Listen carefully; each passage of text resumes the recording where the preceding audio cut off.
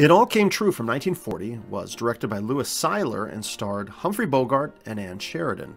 It's basically just a fun, crazy mix of crime noir, a little bit of drama, some romantic comedy, and even musical theater. I mean, it's really all over the place, but it's still a lot of fun. The film opens up with the character Mrs. Taylor, played by Jessie Busley, who arrives at a boarding home that she lives at. She joined some others for dinner, including Rene Salmon, actor Grant Mitchell, who I caught recently in the film Meet the Stewarts with William Holden. There's also Miss Flint, played by Zasu Pitts, and Miss Ryan, who was Una O'Connor, and she has been in a number of old Universal monster films I've watched. A great actress.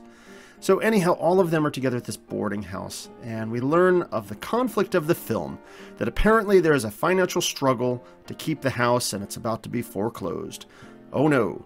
So the residents are having a quiet card game that evening when Sarah Jane, played by actress Ann Sheridan, arrives, and she's noisy and rambunctious, shoving away some creepy guy before stepping inside and chatting with the folks there. And she's a pretty wild character, but they all seem to approve, except for her ma, Maggie Ryan, who laments, Me own girl has grown up to be a hussy. And, you know, of course, she says, No, I am not. I'm a good girl.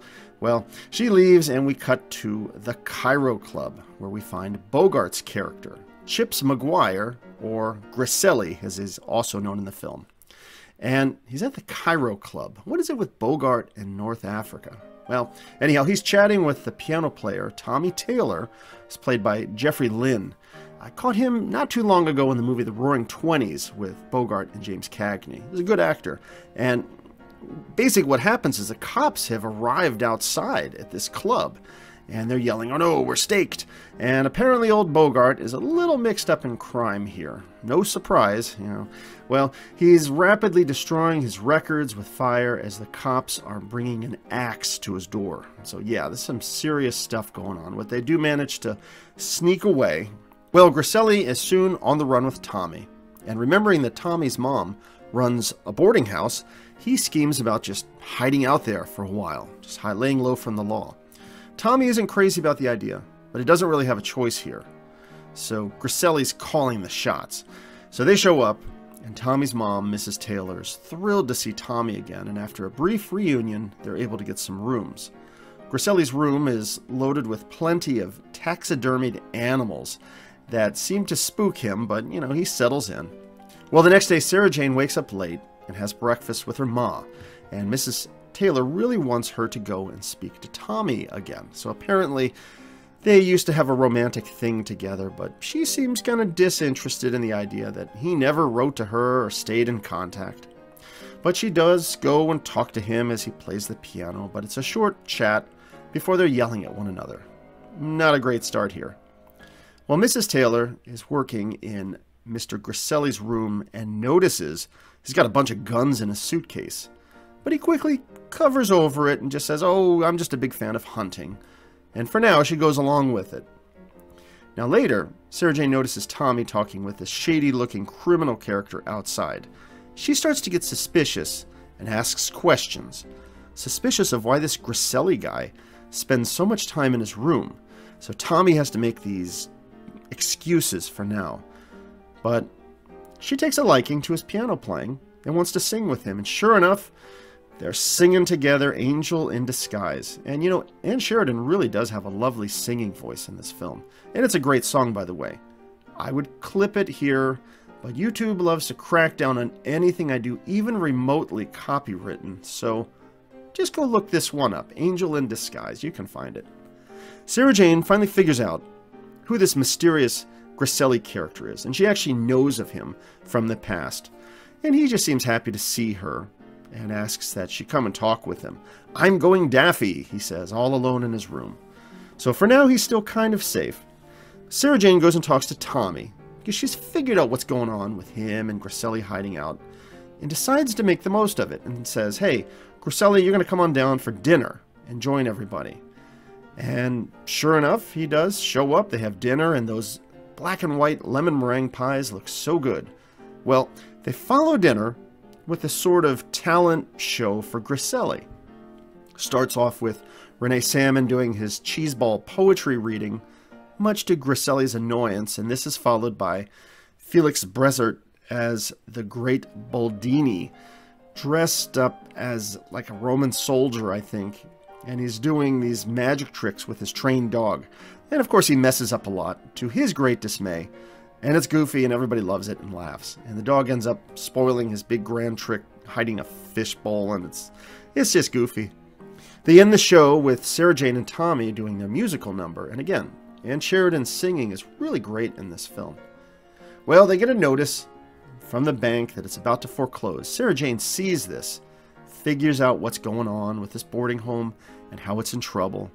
She talks to Grasselli about it, and he shares crazy idea he has of turning the house into some sort of exclusive club with entertainment and home cooked meals. Now, Tommy hears about this. He's not so sure about the idea. But here's the situation. Since Grasselli earlier in the film used Tommy's gun for this crime, he's sort of at his mercy, you know, to the whim of this overconfident Grasselli. He basically has control over him, because if he doesn't go along with it, he'll just report him to the police. Meanwhile, Mrs. Flint sees Grasselli's picture in a crime magazine and figures out who he is. But Sarah Jane, who kind of notices this as well, kind of keeps her quiet about it by telling her creepy stories about the things that happen. And, you know, and she's spooked enough to keep quiet about it, for now. Well, the big evening arrives for the grand opening of the Roaring 90s Club, which is what this house has been converted into. There's a huge crowd that shows up, and everyone there is singing The Daughter of Rosie O'Grady, which instantly brings me back to Bugs Bunny singing that, you know. She's the daughter of Rosie O'Grady. Yeah, all right, anyhow, the Great Baldini does his silly magic act, and you know, never mind the fact that the house now looks magically massive on the inside, but hey, whatever, it's all fun. Now, meanwhile, Miss Flint, who has had a little too much champagne, heads to the police to report that her life is in danger, and she lets slip the name Chips Maguire to the great interest of all of the police and the detectives. So back to the show. It's a musical review still going on with some old grannies singing and dancing, followed by a musical number, Beautiful Doll. I mean, it's quite a variety show with the old roaring 90s. Well, the police detectives show up, but will they find Grasselli and bring him down? Will Tommy be framed? Will Sarah Jane become a popular singer and will there be romance between her and Tommy? Well, you gotta watch the end of this crazy film to find out. So, some quick closing thoughts. This film was a hoot, even if it is all over the place.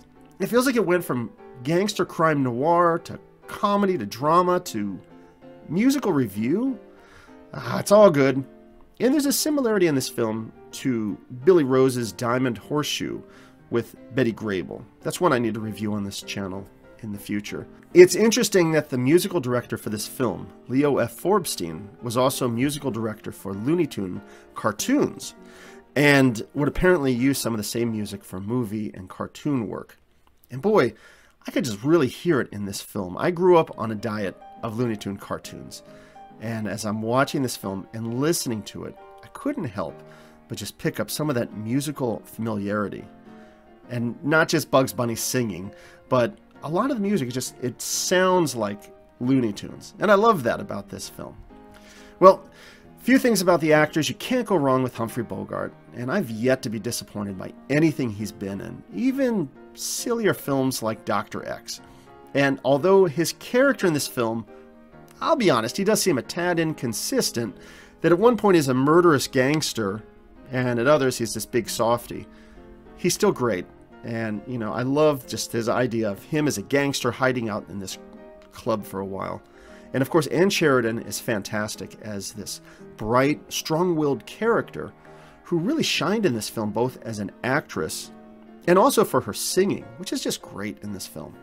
All of the character actors here were a lot of fun as well. And as I've mentioned over and over, it's the music in this film that is really amazing. Well, that's the movie It All Came True from 1940. It's an excellent film and it's worth checking out.